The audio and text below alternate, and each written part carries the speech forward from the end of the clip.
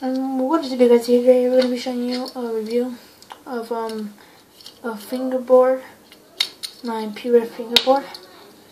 It's right here. It's pretty nice. Foam grip tape, bearing wheels.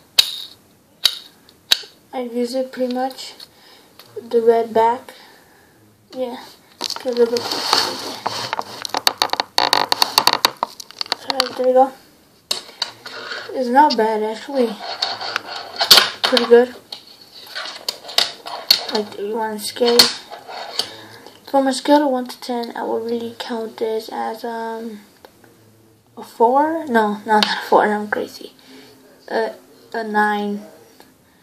Yeah, a nine. Cause the grip is really good. The wheels are really good. Um, the trucks I painted them gray because the trucks weren't that good looking, some silver ones. But if you guys get like different color ones, that would be really nice. But these aren't that nice, so I colored them black with like some nail polish. The wheels are really nice. They don't like you can use them anywhere. They won't get dirty. And yeah, it comes with a sticker. With a lot of stickers, a lot, not just one sticker, a lot. And yeah, this is my review on P-Rep fingerboard. I will be doing another unboxing by this week. Um, and then I'll be doing a tutorial how to assemble one of these.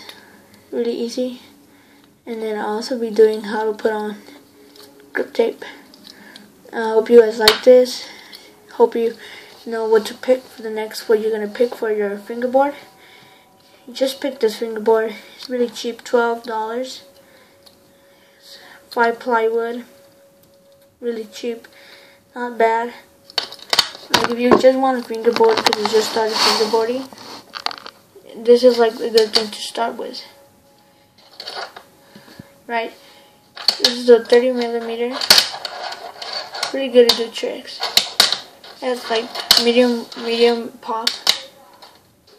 Um it's okay on concave pretty good and concave. Um, has has some good. Um, the wood is pretty good. Like it doesn't get scratched.